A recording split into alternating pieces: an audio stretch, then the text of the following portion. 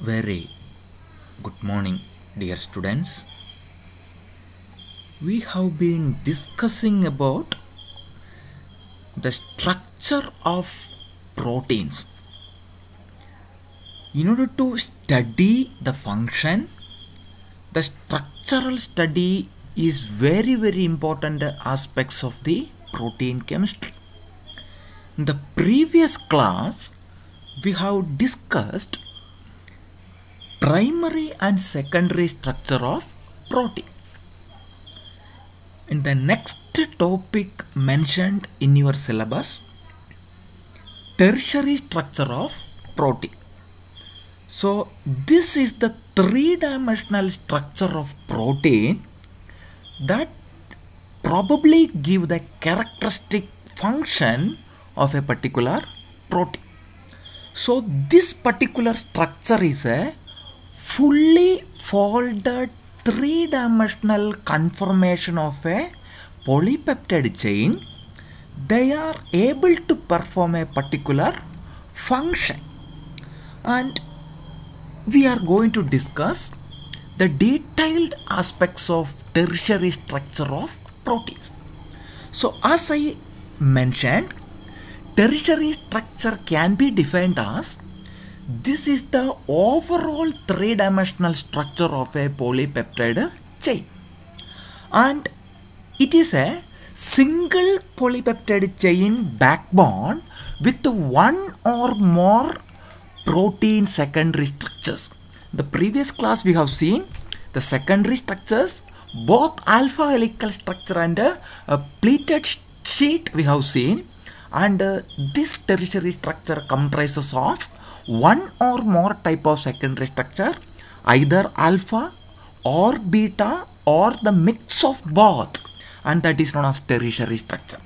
In more clearly the term we are going to call it as tertiary structure is a protein motif this is very very important okay a small tertiary structural part is a protein motif okay? A bigger form of protein motif is known as protein domains. So more clearly we can call it as a the tertiary structure is a protein domains.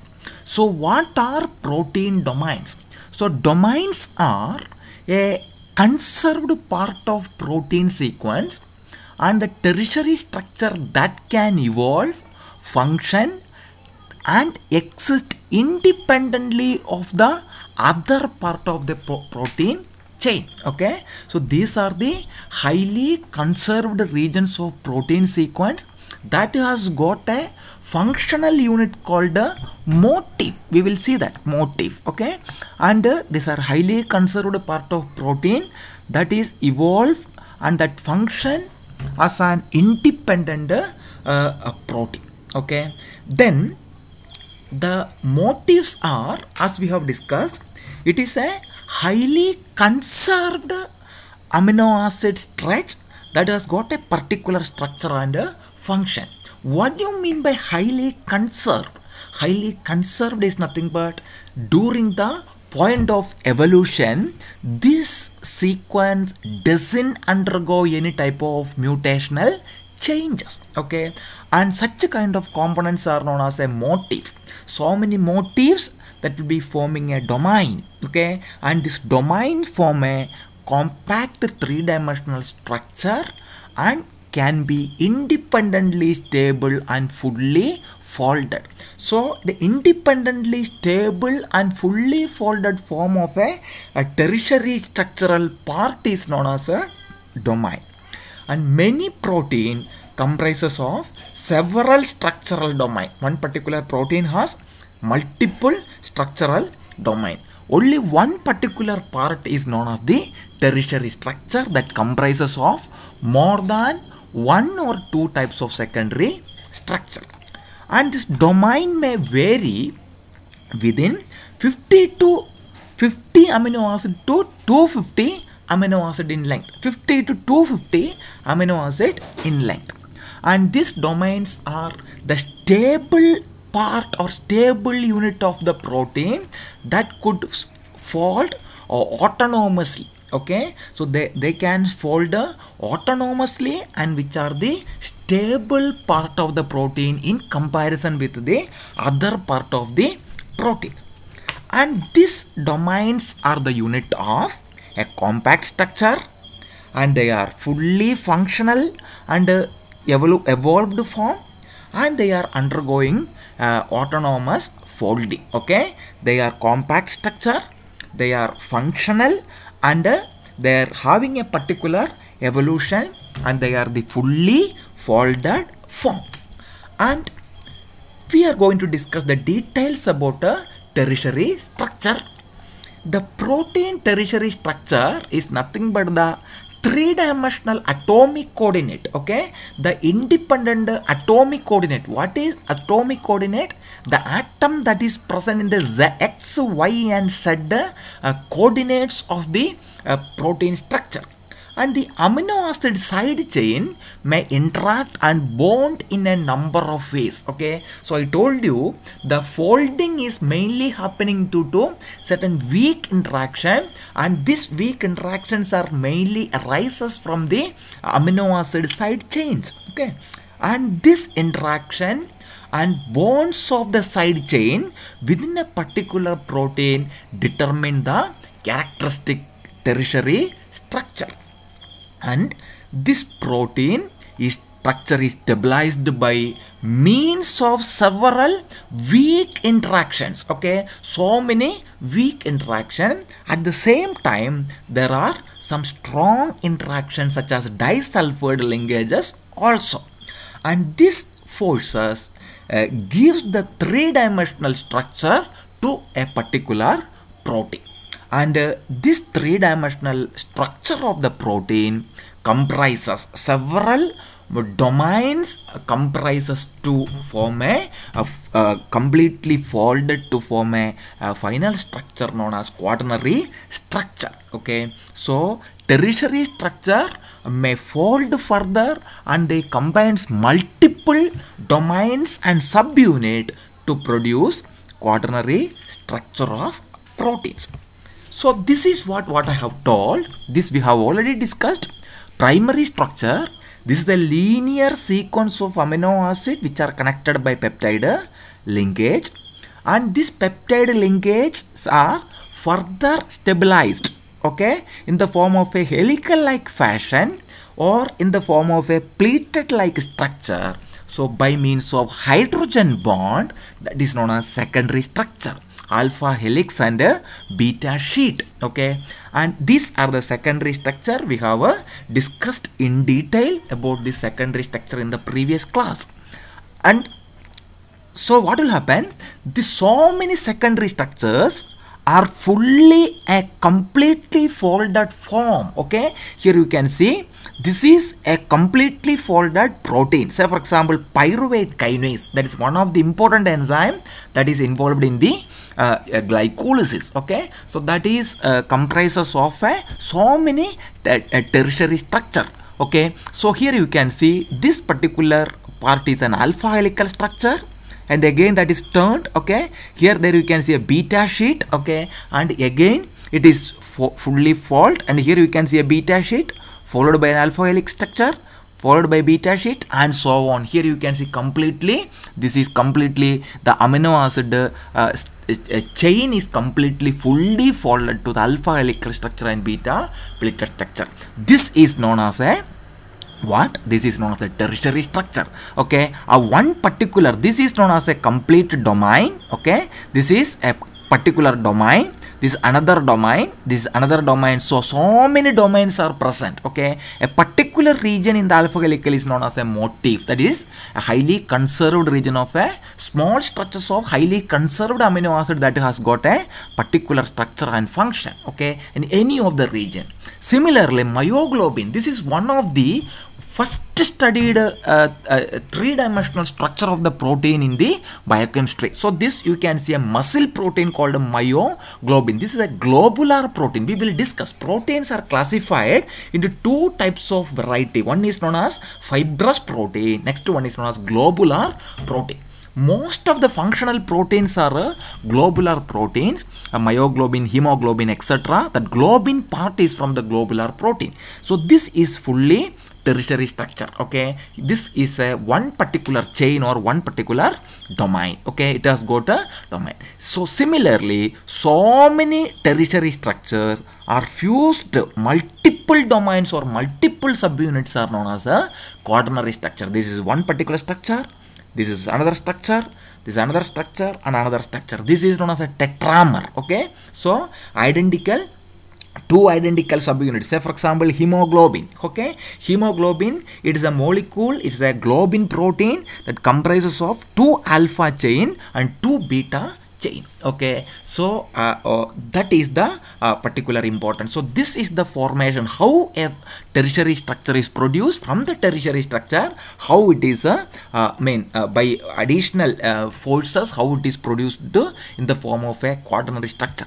And how it become fully folding that is known as protein folding that we will discuss in the uh, the subsequent class okay? And the folding is mainly happening due to various types of interaction. And the study of the tertiary structure of the protein in the in the historical uh, perspective is the biggest milestone okay? So i told you myoglobin is the first three-dimensional structure of the protein that is solved by x-ray crystallography the most powerful technique okay? Here you can see this is the actual structure.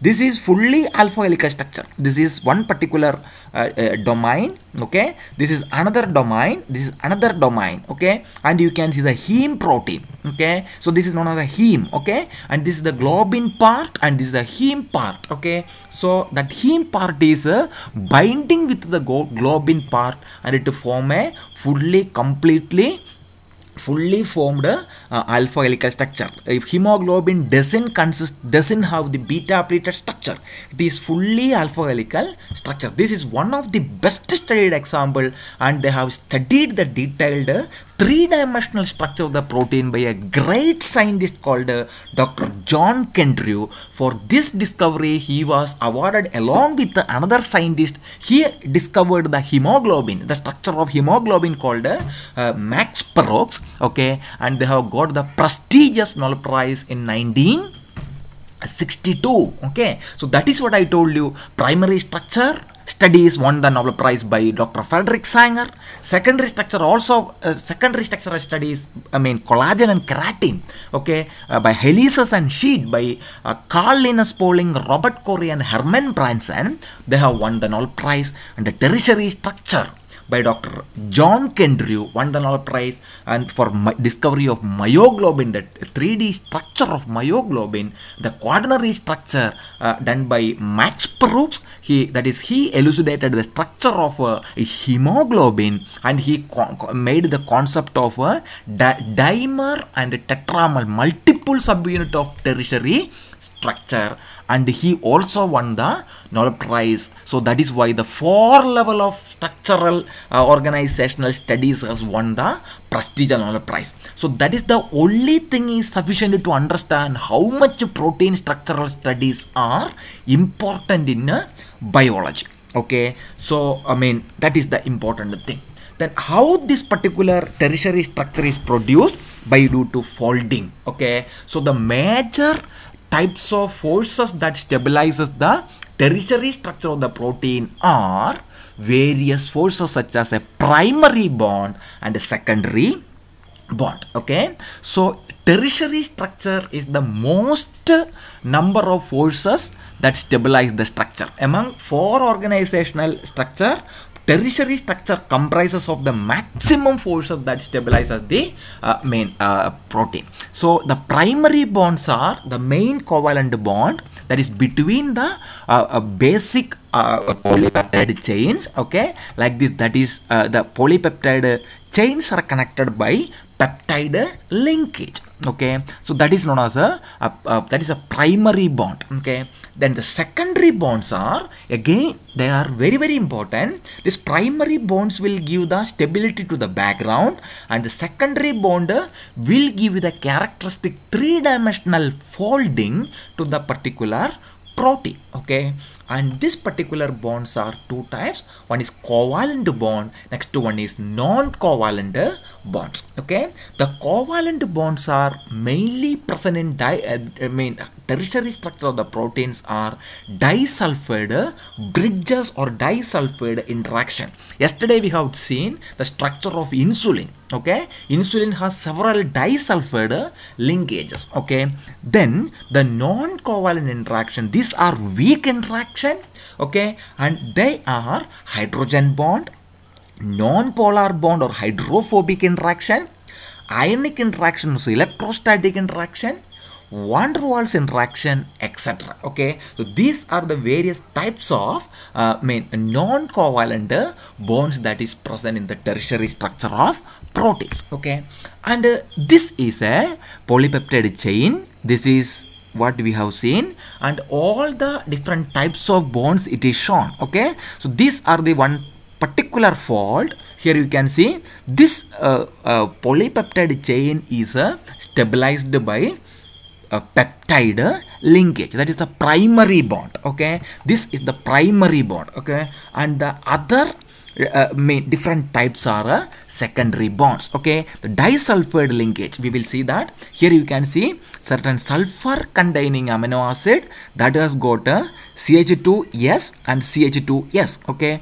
Both the sulfur sulfur linkages are fused and they are coming closer and due to that there is a huge uh, folding is happening to this particular protein then ionic or electrostatic linkage. You know that what you mean by ionic linkage or electrostatic linkage. Here you can see CH2 CH2 CH2 this is a side chain okay? And this again has a side chain CH2 COO okay? And you can see due to the the, the formation of a sweeter ion you know that uh, the NH3 plus and the CO minus they are having a an interaction okay? That is known as an interaction okay? So there is a shared pair of ions okay? So there there is an ion ion uh, interaction ionic interaction or electrostatic uh, interaction. This is the next uh, ionic interaction or electrostatic interaction then next one uh, this has got a, a methyl group side chain okay? Several types of uh, amino acid. There are hydrophobic amino acid has a side chain okay? So one particular part of the side uh, main uh, polypeptide chain there is a ch ch3 side chain. And this has got uh, uh, the interaction with the side chain present in the other part of the uh, uh, protein structure. Here you can see ch CH3 this CH2 uh, CH3 CH3s are very closer. They are very very weak okay? That is known as hydrophobic interaction and uh, van der Waals uh, interaction. Then hydrogen bonding you know that we have already discussed okay? There is a side chain has a CH2 OH and here you can see CH2 COOH okay? The O offers the COOH and the hydroxyl group from here CH2OH there is a bond will be takes place. Okay there is a shared pair of a there is that, that you can see there is a formation of a hydrogen bond. Okay removal of a molecule of water will takes place. Then uh, there is a formation of a hydrogen bond. Okay or what will happen? You will be having this uh, uh, hydrogen. Okay H and O will be I mean uh, fused to form a hydrogen bond. So like this this particular part this is particular a particular domain and this is uh, uh, completely form a fully folded three-dimensional structure. Overall 3d structure it will contribute okay? So this is the uh, main major forces that stabilizes the tertiary structure. Now we are going to see briefly about one one types of tertiary uh, structural forces. First one the primary bond. This we have already discussed covalent bond and how covalent bond is produced. You know that this is a principal linkage found in all the protein. You know very well in the previous class we have studied the amino terminal end of one amino acid will be interacted with the carboxy terminal end of uh, another amino acid. Then what will happen? There is a formation of C double bond O NH will be happening due to the condensation reaction that stabilizes the backbone okay? The specialized bond in which the carbon atom of uh, COOH group of one amino acid is linked with uh, the nitrogen atom of NH2 group of another amino acid then a uh, main strong covalent bond is uh, takes place. That is known as peptide linkage or CONH bond. Yesterday we have seen the peptide bond has got a the psi, phi and omega angles. Psi and phi are rotatable angle, omega is non-rotatable uh, bond, okay, rotatable and non-rotatable bond. Then next one is secondary bond. This I told you, the secondary bonds are the major reason for the natural configuration of the protein, okay. So this will help the polypeptide chain to fold into a three-dimensional form to which it perform various function.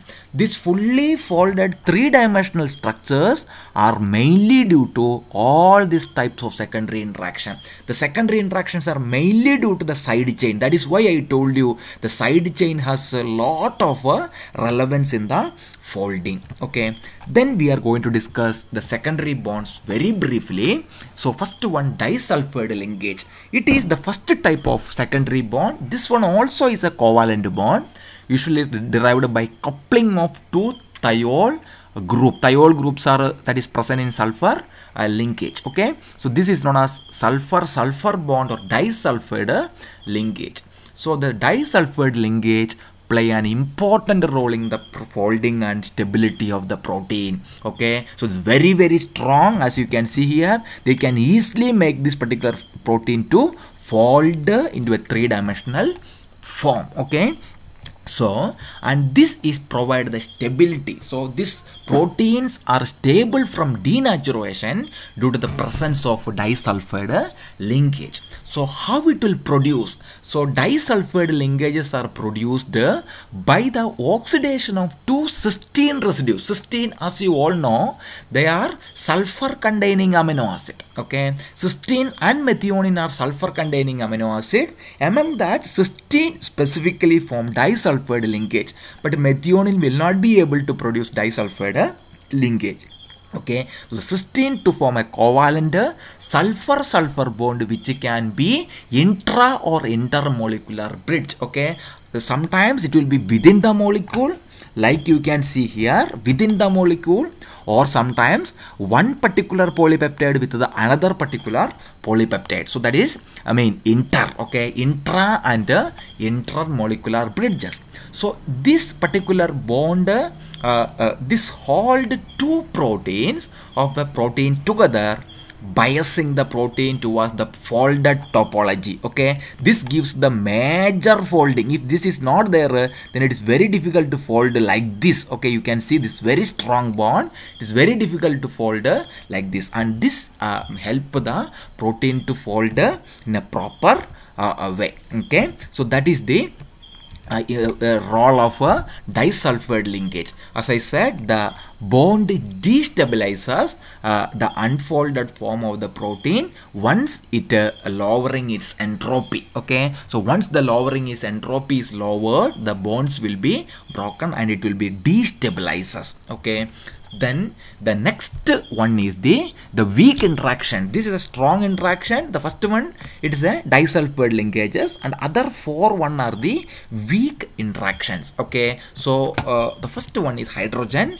bonding. So this hydrogen bonding polypeptide contains various proton donors and acceptor in their backbone and in the R groups of the amino acid okay? The amino acid side chain has a lot of uh, numerous proton donors and uh, acceptor.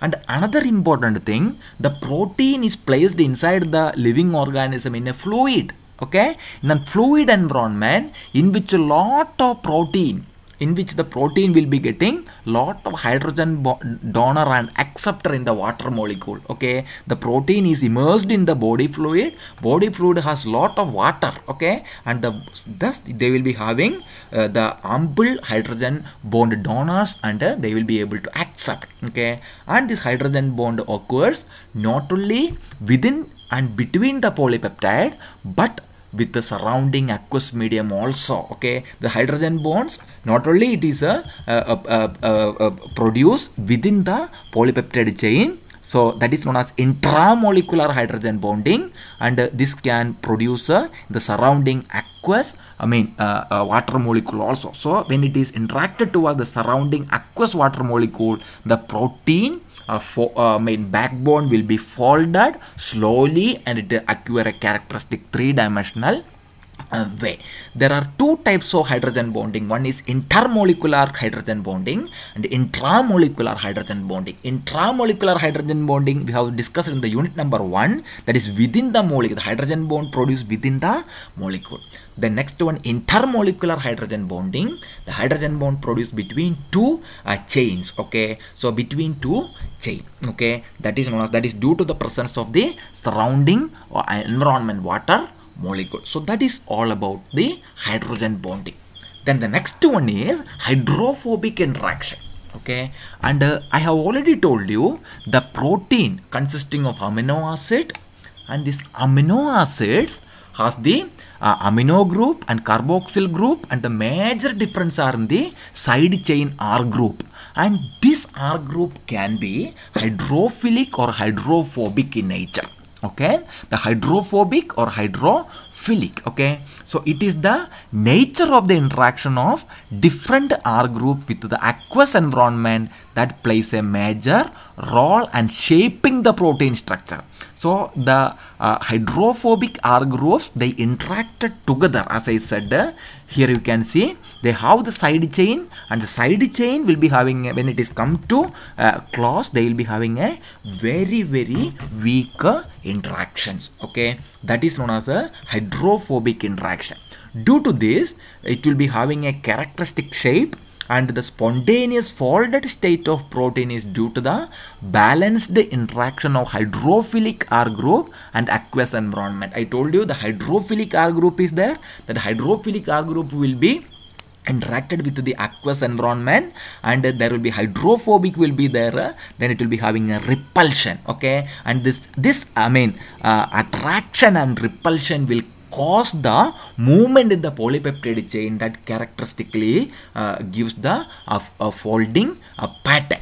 Then the hydrophobicity of the amino acid R group tend to drive them away from the exterior of the protein and uh, into the interior. Due to the hydrophobicity they are tried to be away from the water uh, water molecule. So that will be pulled and that will be uh, away from the exterior and that will be moved to the interior. Due to that the protein will be getting a compact uh, three-dimensional structure. So this driving force uh, force restrict the conformation into which a protein may fold okay? So this particular movement of this particular hydrophilic and hydrophobic environment in the amino acid will give you the folded form of the protein. The next one is ionic interactions or electrostatic interaction. So as I have shown in this particular picture, this is ionic bond or electrostatic uh, interactions. Okay. So what is this? This electrostatic interactions are maybe due to the three types. Okay. One is charge to charge then charge to dipole and dipole to dipole. So this is happening here you can see here you can see oppositely charged centers are coming closer here NH3 plus due to the formation of Zitter ion here it is 0 or minus okay when positive and negative charge comes together they produces an electrostatic uh, interaction and they forms the electrostatic interaction that can be charge to charge interaction charge to dipole interaction and dipole to dipole interaction okay? The typical charge to charge interactions are the major types of interaction that favors a protein folding and those between oppositely charged R group okay the substantial component of the energy involved in the protein folding is charge to dipole interaction. There will be lot of energy will be involved to charge to dipole. You know the dipoles are electric dipole partial charged centers. That is known as electric dipoles.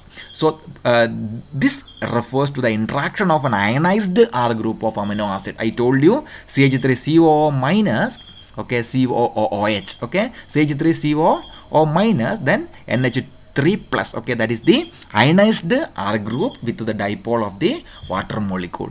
Then the slight dipole moment that exists in the polar R group of amino acid also influence the interaction with the water. So these are the major uh, I mean another important uh, types of bond that is electrostatic interaction or uh, ionic interaction then another very very important interaction is the weak interaction such as van der Waals interaction okay? Like this that, that is due to the uh, uh, addition of the uh, side chains okay? Side chain both attraction and repulsion also will be happening okay here okay? So they are both attractive and repulsive van der Waals uh, force that controls the protein folding. Among all these weak interaction, van der Waals interaction controls the protein folding. Okay, attractive van der Waals forces interacting interactions are due to the induced dipole that arises from the fluctuation in the charge densities that occur between adjacent uncharged non-bonded atom okay so the attractive uh, uh, van der Waals forces involves the interaction among the dipoles okay? And they causes the fluctuation in the charge density. That is why the protein get the amino acid get fluctuated. They migrate from the uh, region and they fault okay?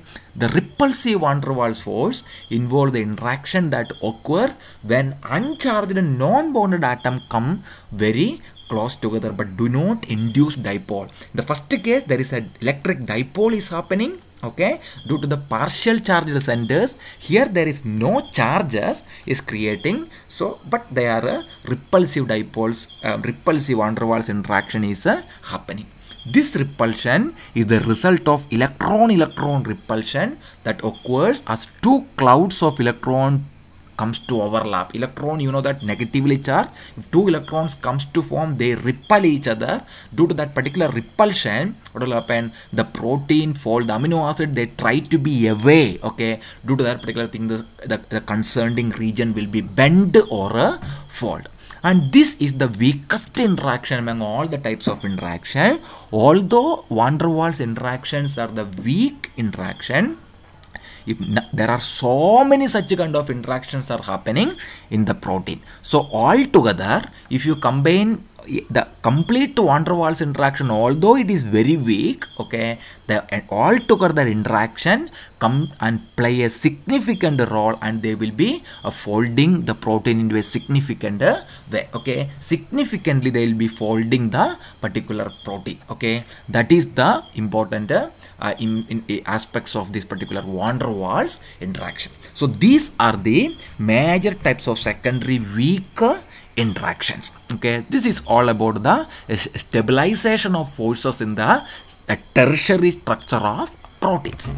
Then how will you study the three-dimensional or tertiary structure of protein experimentally? Okay? By experimentally you can study there are three important methods. Okay? Three important methods. One is known as x-ray crystallography next one is known as nuclear magnetic resonance spectroscopy. Next one is known as cryogenic electron microscopy. Next one is known as dual polarization interferometry. Okay? These all are the major experimental method in which you can study the tertiary structure of proteins. Very briefly this all the things are big big topic. Okay? We will discuss very briefly. X-ray crystallography is the one of the oldest and the most common and powerful tool to determine the protein structure. Okay? So it provides a high resolution accurate three dimensional structure. Okay? And uh, this is this will not be giving the conformational flexibility of the protein.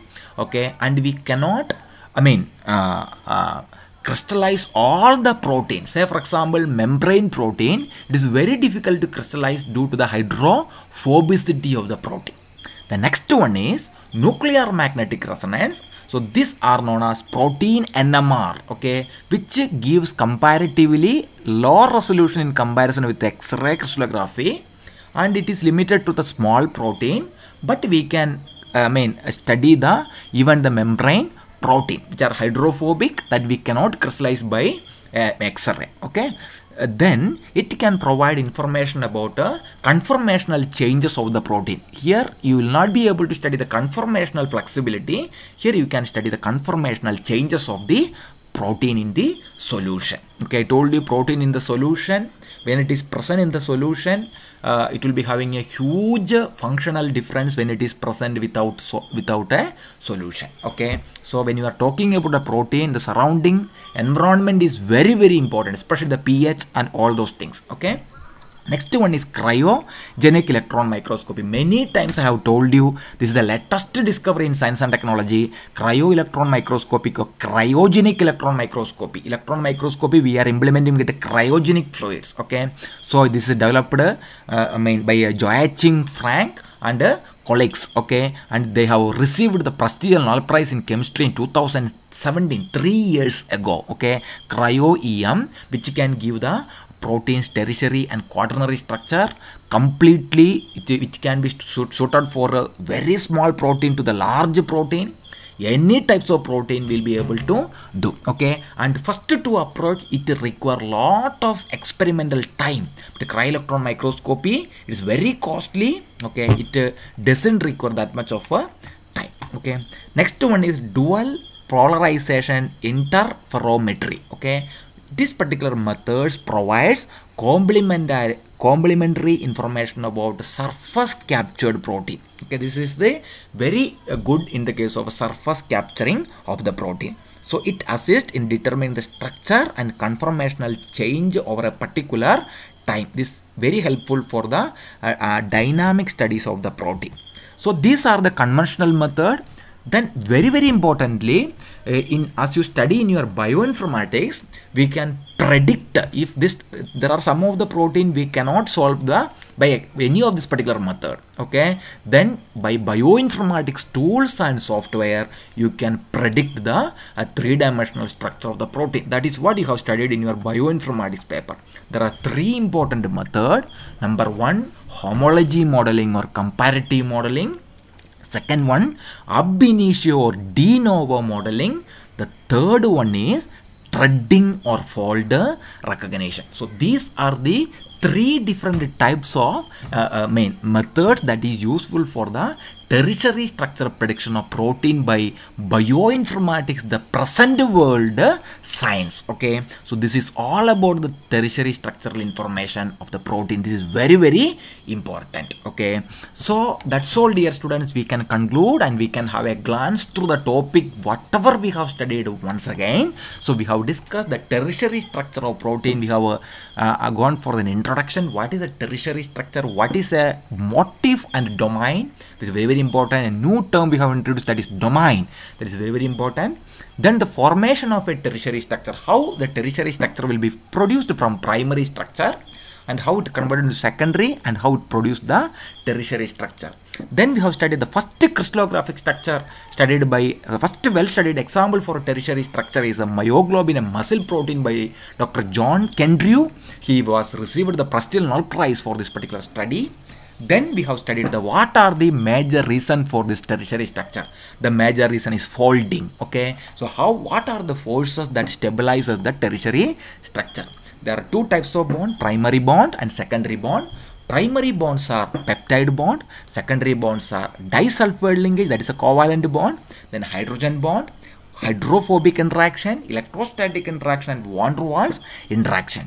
Then we have discussed the technique that is used for the tertiary structure determination.